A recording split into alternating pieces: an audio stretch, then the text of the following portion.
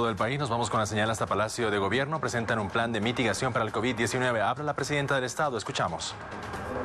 Al señor Simeón Jaliri Mamani, viceministro de Justicia Indígena Originario Campesino. Al capitán de navío Daén Alex Segovia Fernández, director general de Emergencias y Auxilios del Viceministerio de Defensa Civil.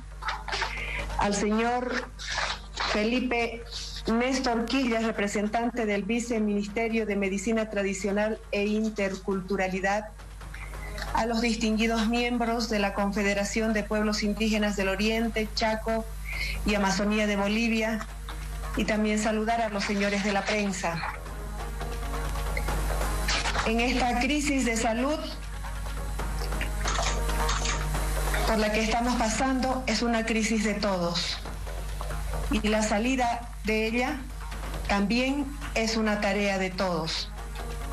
Como estamos viendo ahora por primera vez, tenemos que realizar actos vía Zoom por protección, por salud y por respetar medidas de seguridad. Sin embargo,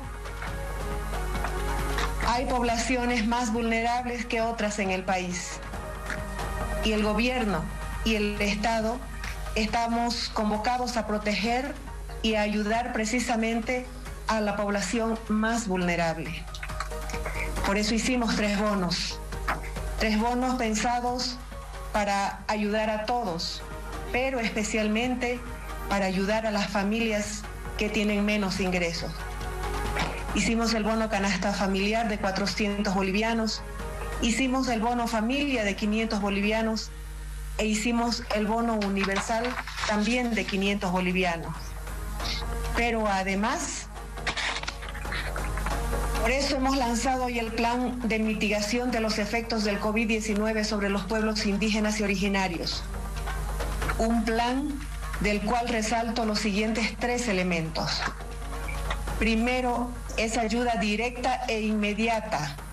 Por ejemplo, ayuda directa con alimentos, ayuda directa a la salud con medicinas y equipos y ayuda solidaria para impulsar las oportunidades económicas y el trabajo en las naciones indígenas y en los pueblos originarios.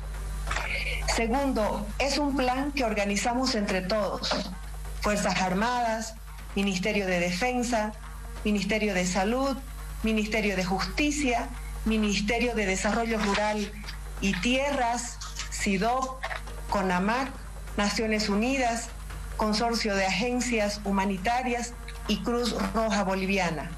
Y tercero, es un plan para beneficiar a más de 62 mil familias en Chuquisaca, Beni, La Paz, Cochabamba, Pando, Santa Cruz, Tarija y Oruro. En suma, un plan para todo el país y en específico para beneficio de los pueblos indígenas originarios que habitan en nuestra amplia geografía nacional.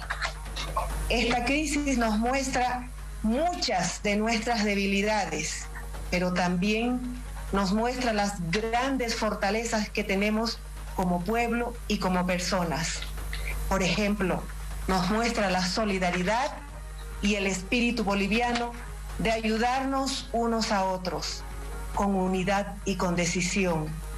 Como madre y como mujer, estoy aquí, firme, para ayudar a los bolivianos que más lo necesitan. Muchas gracias a todos y que Dios los bendiga. La presidenta ha presentado un plan de mitigación para los pueblos indígenas que vendría a beneficiar a 62 mil familias en todo el país. Gracias por acompañarnos.